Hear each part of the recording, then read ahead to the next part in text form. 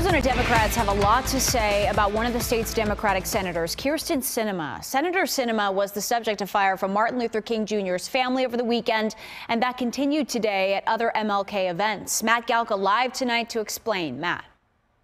Pressure is building on Senator Sinema from within her own party. Democrats around the state would like her to change her mind on her stance on the filibuster. As people marched through Phoenix honoring the legacy of Martin Luther King Jr., it was voting rights on the minds of many and an Arizona senator. Senator Sinema. Kyrsten Sinema. Senator Sinema. Kyrsten Sinema. I think she's being. The heat on Arizona Senator Kyrsten Sinema from fellow Democrats has been turned up since her speech last week.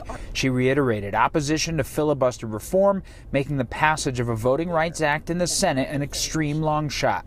We must commit to a long term approach as serious as the problems we seek to solve. Democrat Adrian Fontes, looking to be Arizona's next Secretary of State, wasn't shy about how he felt. I think she's being incredibly selfish, playing the middle and playing politics ahead of the rights of all American voters. State Representative Reginald Bolding, also seeking the Secretary of State nomination, says he's hopeful the voting rights legislation can still get passed. I am hopeful that uh, Senator Sinema and then also the 50 other United States Republican senators will step up uh, to join the others to create a federal solution.